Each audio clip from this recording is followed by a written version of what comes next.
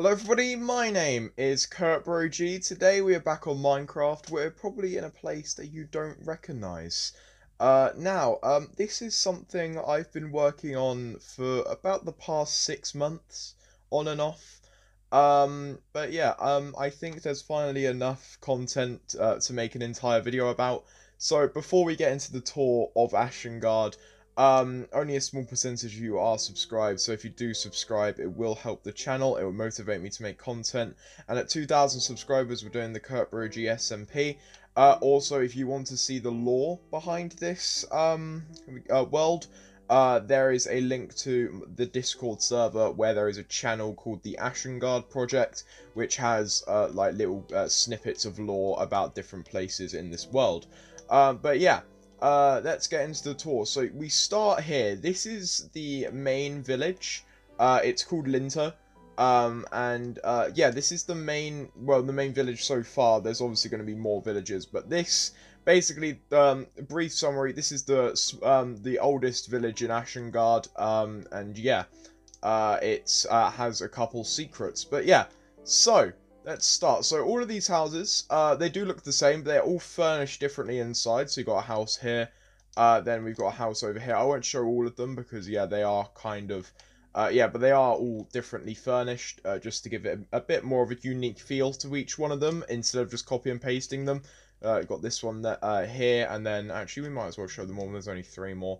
Uh, then we've got this one here, uh, then we've got, uh, this one over here, um, yeah, and then we've got this one here. Now, this one's actually kind of special. We'll come back to why that's kind of special. We won't go in there yet. Um, but yeah, uh, we, we won't say why it's special yet, but we'll, we will come back to it uh, closer to the end. So yeah, over here, um, uh, as we uh, get closer to it, this is the Linter mine.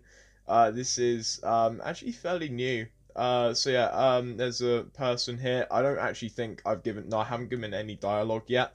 Uh, actually, I should probably go in survival for this so we can get the uh, proper feel uh, of this. So obviously, peaceful mode. Um, it's because yeah, the not, mobs aren't meant to spawn. There's no way to eat food. Yeah, I don't think I've given Adam um, any dialogue yet. But basically, this is the mine. If we go all the way down here, uh, yeah, uh, you, you can kind of guess what's down there. Uh, it's a mine shaft. Uh, it's pretty cool. It actually did take quite a while to build this uh, because I had to blow all of it up with TNT and then I had to cover all of like the external caves that I found. Uh, so that actually did take a couple of hours to build. Um, I personally think it's one of the better builds in this. It um it more detailed. Uh, but yeah, it's kind of simplistic, so there's not really much there to show. Uh, yeah, actually, no, let's, let's just not follow the path. There's no point. Um, yeah, we want to get this tour done, don't we? So yeah, um, here, this is the blacksmith. Uh, we've got Owen Daniels here. He is um, the Linter blacksmith. Uh, I tried to base this off of um, the actual blacksmiths that are in villages. Um, but yeah, I think I did a kind of good job uh, in here. This is just his house, is where he lives. Um, but yeah, I think I did kind of a good job. I, this does need, I do think this does need a little bit of an overhaul though, like this bit here. I think the house is fine. But I do think this little outside bit should um, be revamped. But yeah, it's, pre it's pretty decent. I think it's nice. Uh, so yeah, over here, we might as well do uh, one side. Um, yeah, one side at a time. Because there is actually quite a bit to cut, uh, uncover uh, over there. Um, so yeah, this uh, over here, uh, you'll see it takes a minute to get over here. But yeah, it's because it's the closest forest I could find. Um, but yeah, uh, here, this is the lumberjack. Um, this is the lumberjack house. This is where he lives. ignore me taking damage. It doesn't matter. I won't die. Uh, but yeah, uh, we actually haven't got a lumberjack in here. Uh, he doesn't exist yet. We haven't get we haven't made an NPC for him. And by by by we I mean me. Uh, I yeah, no one else has worked on this. It, um, well, I mean, obviously I've had people in the world, um, but they haven't built anything significant. But yeah, so this is the lumberjack house. You see, he's got the axe and stuff. Oh, okay. Uh, yeah, he's got the axe and um, his um, suit, uh, his lumberjack gear. Uh, but yeah, this I think this looks pretty good. It's more of one of the more minimalistic ones I've built. Uh, considering the size of the house, it is kind of small. Um, and also I, I like how I've done the uh, back bit there. I think that looks pretty cool. Obviously, um, your your opinion uh, uh can be uh, voiced uh, in the comments if you do uh, wish to leave a comment about this world. Uh, but yeah, there is some more. Obviously, there's way more. There is much, much more. I think we'll do the little secret thing now. We might as well if we're going um, left or right. So yeah, this is kind of the last thing on the left side. So basically, this house here, we didn't go in here for a reason. Uh, now, um, yeah, if you're playing this in survival and you didn't see, uh, uh, well, you don't know what's happened, so you don't, you haven't seen this video. Basically, if you talk to this guy, uh, William Power, he says apparently there is a hidden place in the well. I heard one of the houses here has a button that can open the door to it. Ah, now, uh, interesting. Uh, interestingly enough, this house here is the one with the button. Uh, you can see it kind of there. Uh, yeah, there's a wooden button there. Uh, you press it. Uh, it will come up with that. Uh, look at the bottom of the well to find the portal into hell. The opening can only open for a short time. So get down there and try not to die. Now, uh, there's a command block up there that um, holds um, holds the door in at the bottom of the well open for 50 ticks exactly. So a little less than six seconds. Uh, so you've got to press the button. Uh, can we actually press the button? Then, yeah, you've got to run over here. You've got to get into the well. Uh, oh, okay. I guess it didn't work. I think I might have to put my HUD on for this because it's kind of difficult to do without a hand or anything. Uh, so yeah, uh, we'll, we'll make it so I have my hand. Uh, right, yeah. Uh, that, that'll help. So, yeah, because now I know if I'm actually pressing the button. So, yeah, uh, you press the button, you sprint over here. Trust me, there is something down here. Look, the door opens, and look in there. That's where we are. I can turn, turn my hand off now. Uh, absolutely just destroy my hand. It's now gone. Uh, so yeah, this is a little dungeon bit. Uh, this is also another lore point uh, that I do want to expand upon in the future. But yeah, uh, so you, you, you it's kind of obnoxious how you're meant to actually get into the main dungeon. This is not it, by the way. This is not the entire thing. Uh, you go here, you open the chest. Uh, oh, wow. Oh, you get sent down here. Oh, what a surprise. Uh, yeah, this is the main dungeon. Uh, so yeah, there's a little ritual pad here. If you read the um, thing on the Ashengard projects on the Discord server, link in the description once again, you'll be able to know exactly what this is, uh, because I've explained it thoroughly. Uh, there's no point going to the Nether yet. Um, yeah, um, basically how the story goes. Uh, they're um, ancients, which is the thing. Um, so there was there's the ancients and the post-ancients. We're in the post-ancient age now because all the ancients died.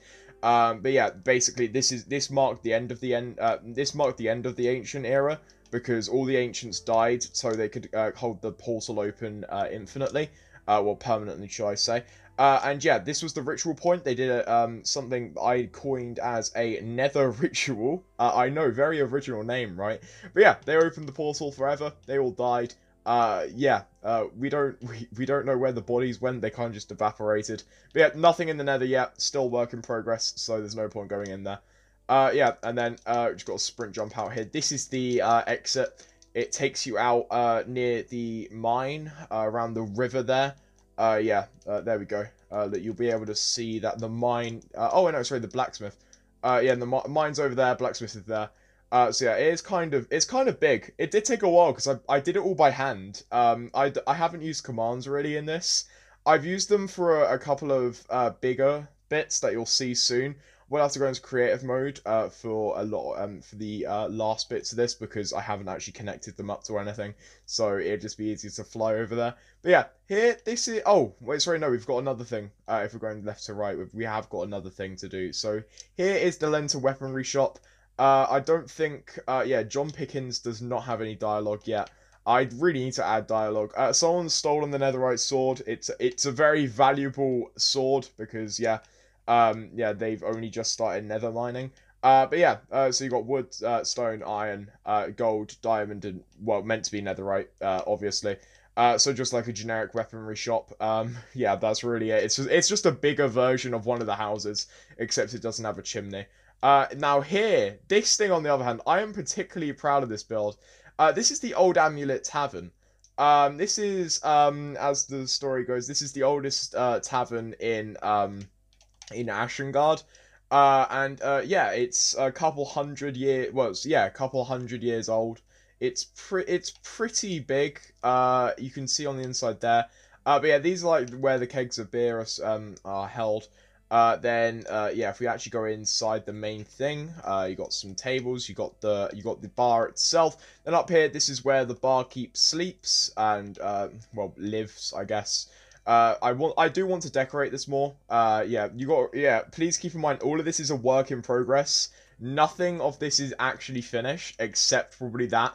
Uh, now here here we go. This is um the market um the market road.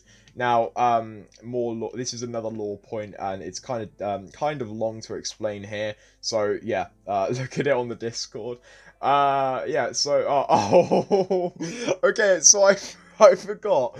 So, Creeper 2007, or I got DLC right here, as he's known on YouTube. Uh, he's been on this world uh, I let him create an NPC called Ooga Booga McGee, which is the botanist, and I did not realize the text just read, you will develop tumors.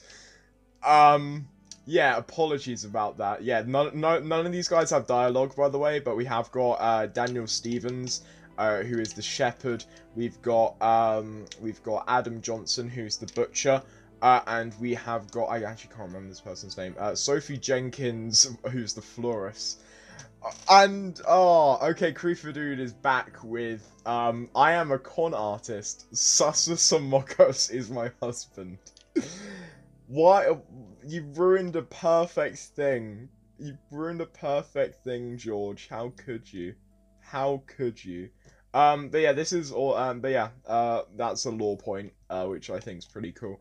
But yeah, uh, this is actually the longest road that I've that we've actually made. So we're we're, uh, we're not actually going to continue uh, but in survival. We're gonna go back into creative just so we can actually move a bit quicker because it does take a while. But yeah, this is the stables. Uh, we actually haven't got a name for this yet. Well, I haven't got a name for this yet, but this is um just a stable. Over here, you got some horses, got a lot of hay. Uh, the inside, I don't think is furnished. Uh, no, it's not. Uh, but yeah, I actually spent a lot longer on this build than I really should have. It, it, it really did not take... Uh, it really should not have taken as long as it did, but it did take uh, that long.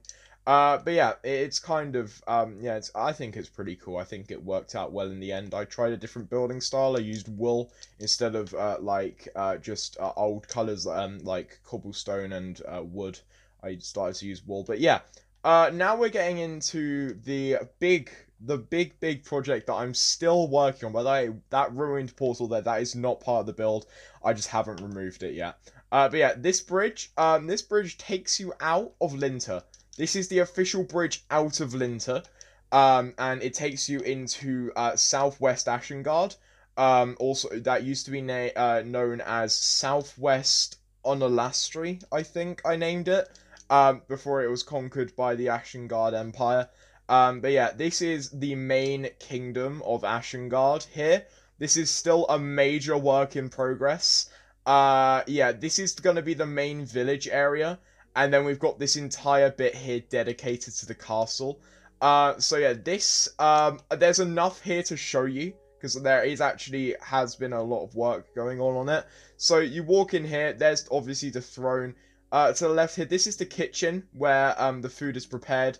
Uh, here is the dining room. Uh, I'm particularly proud of this, uh, honestly. I, do, I think this turned out quite well. Uh, I did make a big mistake though. I've made I've accidentally made all of the walls even instead of odd, so a lot of it has almost been off center, which is kind of annoying. But we're we're kind of coping with it. Uh, yeah, you can kind of see where it's been off center. But yeah, uh, this uh, you know, there's also there's this little bit back here. Um, yeah, sweet berries are the national uh, the national fruit of Ashengard. Um, yeah, that was taken from another project of mine called uh, the Kingdom of Centimore, uh, where that was also um, the national um, the national fruit uh, slash berry or whatever. Um, but yeah, it's the same on both sides, so we don't really need to go to the second one. But up here, uh, this is still this is the work in progress area, so none of these rooms are furnished up here. But we have got this bit here. So we've got um, we've got the fountain, which I I didn't actually intend to make a fountain. I intend to make it a statue, but I thought let's put water over this and see if it looks good. And it looked kind of good. So we yeah, it's now it's now a fountain. And here I I like this. So this is kind of just like a hall of armor. And then here we've got um we've got netherite and diamonds, the two rarest um the two rarest minerals to make armor out of in Ashengard and just in the game in general. And then we've got the banner of Ashengard, uh, the blue uh, the blue shield with a bit of red in it. Uh, and then yeah, we've got another unfurnished room. Uh, there's also, I think, yeah, there's one more. Okay, I sorry, I need to just quickly uh, turn this to day and weather to clear. Uh, there is one other section, uh, and then we're done. It's an unfinished section. I was planning to come back to it at a later date. I probably will after I finished uh, the main, uh, the main Ashengard city. But yeah, it's over here somewhere. yeah, uh, I, I will find it. It's like, yeah, it's, it's past the mountain. It does take a while to get there. Here it is. Uh, this is the Dueling Mills uh, farm. Uh, now, this did actually take a lot longer than it looks to make. Um, yeah, this is really big. Uh, so we've only managed to make one windmill. Uh, the second uh, windmill is still in progress. Uh, I honestly, honestly, this is still in progress. I think I abandoned it because I just couldn't get a roof that looked good. Uh, but yeah, in here, uh, this at one point was func was going to be functioning, but then I couldn't uh, really put it in there without making all the command blocks like over here and underneath. Uh, so I decided to give up on that. But yeah, uh, it goes here. So basically, if it did work, you would put wheat in here. Uh, then you'd press a lever, and then it would down here drop sugar uh, or uh, wheat or, flour as it would be uh, properly. I did actually make a working one of them in the old uh, Let's Play. The um, I think it was the yeah the one point uh 1.13 to 1.15 Let's Play. That I, that I abandoned. Um, but yeah, it um I think it was like episode 50ish. Uh, but yeah, it was pretty it was pretty good. So yeah, if you want to see a working one of them, just check there. Uh, but yeah, that is Ashengard at this current moment. I think it looks good Or if I'm being honest, I do think I've done a kind of good job, uh, but please do leave your opinion on it in the comments. I would love to hear what you think about this because I've spent so much time on this. Honestly, it's spe I've spent so much time on this. If you want to see more lore points, uh, check the Discord out under the channel Ashengard Project. We've set up a new Discord. It's really good. I love it so much. But yeah, that's going to do it for today's video. If you did enjoy, feel free to give us a like, subscribe to the channel if you're new, and as always, keep on gaming and stay safe. I'll see you all in the next video. Bye!